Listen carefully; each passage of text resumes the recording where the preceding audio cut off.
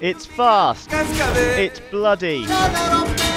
It's the most disturbingly titled game ever. Wet, yeah, I know, Wet, is out for Xbox 360 and PS3 now. Has been for a while actually, sorry we're a little late to the party. Anyway, Wet squeezes you into the frankly ridiculous jeans of a girl named Ruby. She's a fixer, which basically means she goes around swearing and shooting at everyone in sight.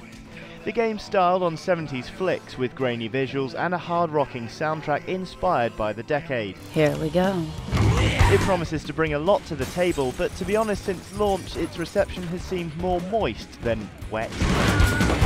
Most people seem to be throwing around accusations of shallowness and imperfection, but then again at Game On, we're not most people, and I for one happen to think Wet is a decent game. I'll admit, when I first started playing Wet, I did find myself thinking, oh dear. Despite Ruby's feminine wiles, character modelling is not Wet's strongest point. In fact, in some instances, the character models are almost bordering on PS2 visuals. However, the B-movie aesthetic surrounding the game in the loading screens and film scratch effects make up for this admirably. You really feel like you are playing through a 70s B-movie as Wet throws in loads of little touches Tarantino would do well to take note of. Yes, I said it Quentin, Death Proof was rubbish. Gameplay wise, it's solid, frantic fun, mixing Max Payne style bullet timing with the kind of parkour skills Mirror's Edge tried to pull off.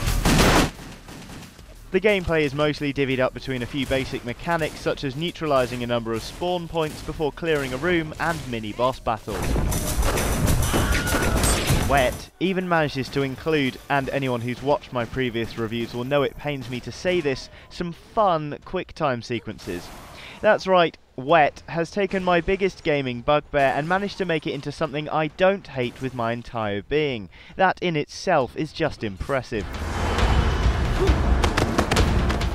So yes, a lot of people are saying Wet has a bad case of style over substance and those claims are fairly well founded, but frankly those people should just lighten up. Wet is from start to finish a wholly self-aware game. At no point does it pretend to be anything more than the stylish, bloody, quip-laden gunfest it's set out to be.